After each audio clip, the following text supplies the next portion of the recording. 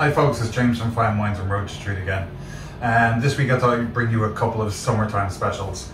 In this weather, there's nothing better than nice rosé or a chilled white. So first off, we have the Hippy Rosé.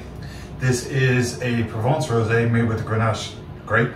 It's lovely, light, dry rose flavors, cherries, strawberries, absolutely delicious, and it's got a lovely crisp acidity. This was 14, now 9 euros. My wine of the month. It's superb. Try it And my second wine, this is the Peter Lehmann Barossa Valley Riesling. Now people are scared of Rieslings, don't be. Riesling goes from ultra ultra dry to ultra ultra sweet. This is one of the drier ones.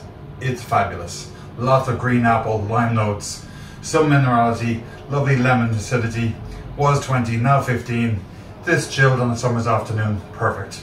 Enjoy.